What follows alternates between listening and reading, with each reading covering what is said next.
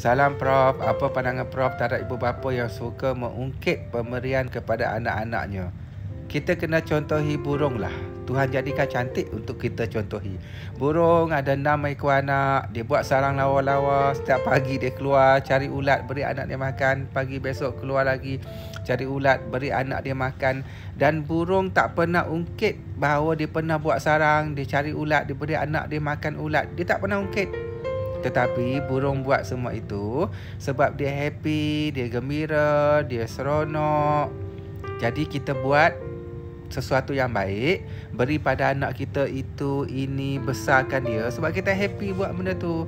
Anak kita balas ke tak balas ke kita tak kisah kita tak heran. Kerana kita buat sebab kita happy dan kita seronok. Jadi belajar happy dan seronok dan menikmati perbuatan itu tanpa mengharapkan apa-apa balasan. Ikut seperti mana burung. Itulah yang sebenarnya Tuhan suruh. Itulah kefitrahan yang ramai orang lupa. Sedar balik